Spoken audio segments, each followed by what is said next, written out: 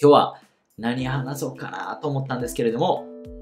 ロサンゼルスクリッパーズについて話をさせてください。昨日レイカーズ回だったんで、今日は2日連続 LA 会になるんですが、クリッパーズオールスターブレイク前、最後のゲームをね、フェニックスサンズと戦ったということで、サンズといえばね、ケビン・デュラントを獲得して、またデュラントはサンズでね、復帰はしてないんですけれども、そのクリッパーズとサンズの試合、特にクリッパーズがすごく面白かったということで、クリッパーズについていろいろ思うことを話していこうと思います。で、今日も最後まで皆さん楽しんでいってください。クリッパーズは、アウェイでね、フェニックスサンズとの戦いだったんですけれども、今回のトレードデッドラインで、フェニックスサンズはがっつりとね、補強をしてきたりだとか、アブスにカイリー・アービングが行ったりだとか、レイカーズは昨日話した通り、大型補強というかね、いろんな選手を補強して、そういった3チームがね、今回のトレーデッドライン前にかなり動いたチームとして、結構ね、頭にパッと出てくるかなと思うんですけれども、その中で、ロサンゼルス・クリッパーズもね、なかなかいい補強をしました。他のね、チームに結構注目が集まるので、クリッパーズに関してはね、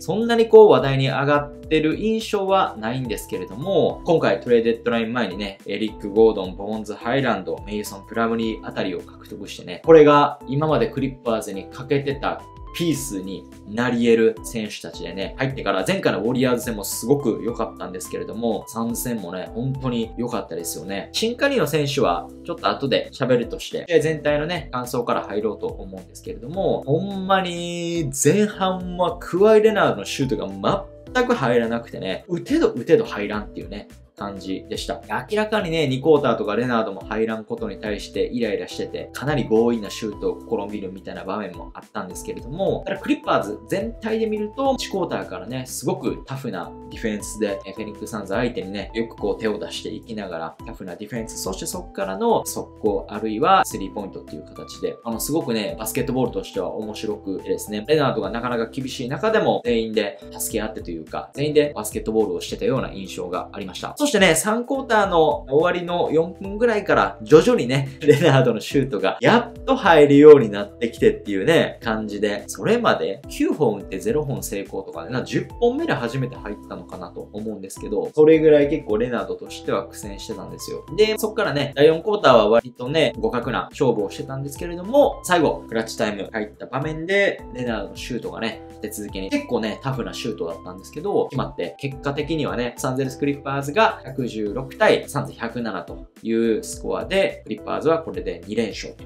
いう結果になってます。これで、オールスター前の順位で言うと、ウエストの中で、おそらく4位まで上がってきたと感じですかね。開幕をいろいろ苦しみながら、レナード・ジョージのコンビ大丈夫なんかみたいなね、こともありながらも、じわじわとウエストの中で順位を上げてきてるのかなというところですね。ここ選手で言うと、やっぱりね、テレンス・マンはめっちゃ効いてるよね。レジー・ジャクソンがね、なかなか厳しい中でスタメンに入ったマンだったんですけども、マンのね、ディフェンスはもうもちろん言わずもがらなんですけど、やっぱドライブがめっちゃ効いてるね。速攻からね、自分でドライブで駆け上がってそのまま行く場面があったりだとか、トランジッションで、例えばポール・ジョージからね、パスをもらって、トランジッション3みたいな場面もあったりだとか、あとはハーフコートでね、うまくね、ディフェンスのスタンスをずらせてからドライブしてって、そこから自分で行くこともできるし、パスもさばいていけるので、そこからズバッツにね、アリウープ演出したりだとか、ドライブキックもできるということで、このね、テレンスマンのポイントガード起用っていうのは、引き続き結構効いてるなとあの思います。すごくね、エネルギッシュな選手なんで、やっぱ試合にこうエナジーを持ってきてくれるっていうことにおいても、すごく今クリッパーズにはハマってるポイントなのかなということですね。ポール・ジョージがね、16ポイントということで、テネスマンもね、26点なんで、それぞれチームの中で一番点を上げたんですけど、ポール・ジョージはね、1クォーターから3の調子がすごく良さそうだなと、中盤までね、すごくさすがやなと思ってたんですけど、いくつかやっぱ気になったのはね、サンズのディフェンスの強度が上がってきた時にね、ターンオーバーが2回ぐらいかな、あったんで、その辺はポール・ジョージクラスなんでね、課題というか、これから何とでも修正できると思うんですけど、その辺はちょっと気になったかなっていうぐらいでしたね。で、メナードはね、ちょっと冒頭で話した通り、前半全くシュートが入らなくて、3クォーター終盤ぐらいから、徐々に入るようになってきたんですけど、さすがね、第4クォーター、ほんと重要なところできっちり決めきってくれるっていうところはさすがだし、あとはね、点が入ってなかった時も、え積極的にね、やっぱリバウンドディフェンシブリバウンド、オフェンシブリバウンドを絡みに行って、自分でね、リバウンドを獲得できなくても、うまくね、タップしてズバッツに繋いだりとか、あの辺はね、クリッパーズが勝利した大きなね、要因の一つになってると思うので、レナードもね、徐々に調子上がってきて、前回のウォリアーズ戦とかもすごい良かったんで、ちょっと入てないってことはね、そういう日もあるわっていうぐらいなんですけど、4クォーター終盤はさすがの男やなと思いましたね。で、ズバッツね、効いてるよね。引き続き13得点、12リバウンドということで、インサイドではね、やっぱエイトンにね、べったりつけてエイトンを苦しめてる場面があってね、エイトンをタフシュートに持っていく場面だったりだとか、あとはリバウンドに関してもね、すっげえ今日もエイトン相手に負けてないというか、うん、むしろ勝ってる場面もあったぐらいだったで、この辺のポリスに関してはね、やや調子悪かったかなと思いつつも、クリッパーズにおいてのこのスタメン5っていうのは、かなり完成度としては悪くないのかなというところですね。それ以上に話したいのがやっぱベンチメンバーですよね。シックスマンでね、エリック・ゴードンが入ってきたんですけど、エリゴのね、いいところって2つあって、まずはオフェンスで言うと、躊躇せず3を打つんですよね。これはロケッツのとこからそうだったんですけど、そういったね、ボールが回ってきて適切なタイミングで、何の躊躇なく打ち抜いていくっていうね、選手がクリッパーズには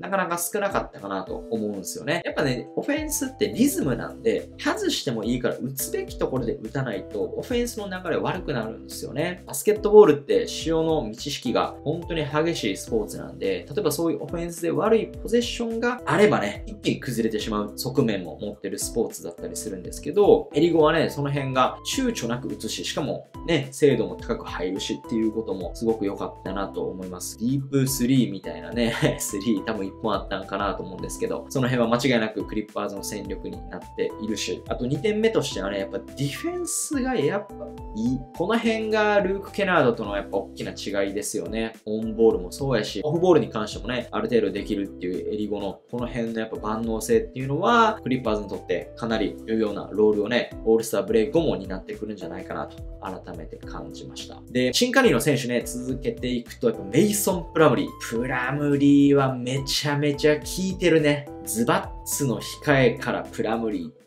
これね、インサイド強強やからね。ズバッツがね、どっちか言うと古典系なセンターというか、ディフェンス、リバウンドっていうね、感じのセンターだとすると、プラムリーはね、そこに器用さを加えた選手ですよね。しかも、速攻の時にもね、自分が先頭で書き上げれるっていうね、走力も持ってるんで、2番手センターとしてプラムリーこれ激ハマりやね。オフェンスの中では自分がね、ペイントエリア内に囲まれたと思ったらそこからね、ちょっとなんかダブルクラッチ気味ななんかキックアウトパスみたいな感じやったんかなと思うんですけど、とかね、速攻ではね、自分がそのまま行ってレイアップだったりだとか、フリースローもね、プラムリーといえば、本当はね、右手でシュート打つんですけど、フリースローの時は左手で打つ有名な選手なんですけれども、そこもきっちり決めきってくれてたかなということで、オフェンスはね、引き続き良くて、そしてもちろん自分がボール持ってない時は、プラムリーはね、エースクリーンかけるんですよね。相手のディフェンダーがゴンってプラムリーまで止まってまうぐらい、めちゃめちゃエースクリーンをかける。これがね、ほんまに大事。しかもポール・ジョージ、レナーとか自分でやっぱ仕掛けていくタイプなので、やっぱ優秀なスクリーナーがいるかどうかってめちゃめちゃでかいんですよね。で、この辺においてもプラムリーっていうのはかなりクリッパーズにとって大事だなと思いましたし、そしてディフェンスもね、プラムリーはいいですよね。オンボールもね、もちろんそうやけど、オフボールのところで例えば今日前半やったかな、プラムリーがついてたマークマンがね、ボール持ってて、で、ハンドオフでね、他のサンズの選手を渡そうとしたところ、うまくね、プラムリーがそこにヘルプ行く、フリーを見せてから、その後ローテーションでリング下に回りに行くというか、リング下を抑えに行くっていうね、本当にうまいなっていうね、場面があったんですが、あの辺がね、しっかりできるんであれば、タロンルーとしてもめちゃめちゃ使いやすいし、今後ね、もっとミニッツとしては上がってくるんじゃないかなと感じました。最後はね、ボンザハイランドですよね。ナゲッツからやってきて、ナゲッツの中では、なんていうかな、ちょっとね、俺が俺がみたいなところが悪目立ちしてしまうみたいな側面もあったのかなと思うんですけども、けどすごくもらってたミニッツ15分の中では自分の仕事すごくできてたんじゃないですかね。ドライブもね、当然できますし、3もきっちりと1本そのまま決めきるっていうね、場面があって、オフェンスではやっぱハイランドが上がってきた時にね、そういったペースが上がるような印象もあるので、その辺はね、すごく良かったかなと思うんですけれども、ただハイランドで言うとね、これナゲッツの時からなんですけど、やっぱターンオーバーがね、多いっていうのがどうしても気になるかなと思ってまして、割と仕方ないターンオーバーっていうか、明らかにパスミス、明らかに判断ミスみたいな場面が少なくても2回はね、あったので、その辺がね、ちょっと改善をしていかないと、ノーマン・パウエルお休みだったんですが、パウエルが復帰してきてから、プレイタイムをもらい続けるっていうことはちょっと難しいのかなっていう気もしたのでね、ここハイランドに関してはここからオールスターブレイクをどんなパフォーマンスしてくれるのかっていうのはすごい期待ですね。で、あとはバトゥームはね、引き続きクリッパーズにとってはすごく大事なんですけど、最近ちょっと数試合やや調子悪いのかなと思いつつも、ただバトゥームほどのベテランなんで、そんな心配はしなくてもいいかなというところですかね。当時でね、クリッパーズは今回、あの、すっごくね、いい補強したと思うので、どうやらね、クリッパーズがラスを狙ってるんじゃないかっていうね、噂があって、こんだけ層厚いと、ラスはいらないと思うね。だったらパウエルとかね、ハイランドはちょっと怖いかもしれんけどね、普通にノームのプレイタイムがもっと伸びてくるやろうし、言うてね、プレイオフ入ると、言っても8人ローテとかになると思うんで、そうなると別に今のクリッパーズにとってラスの価値っていうのはそこまでないのかなと、なんか今日のゲーム見て改めて思いました。とは、クリッパーズについてね、久しぶりに思ってることを話しました。あなたはね、今のクリッパーズについてどう思いますか？ぜひ皆さん、クリッパーズに対しての熱い思い、コメントで聞かせてください。そしてね、おもろいなと思っていただければね、ぜひいいねボタンポチッと押していただけると嬉しいですし、もしまだフォローしてないよっていう方はね、ぜひフォローしていただけると本当に嬉しいです。それでは今日はこの辺で終わりにしたいと思います。また次回、バイバーイ。この番組はご覧のスポンサーの提供でお送りしました。スポンサー随時募集しております。ご連絡は概要欄のメールアドレスに送付ください。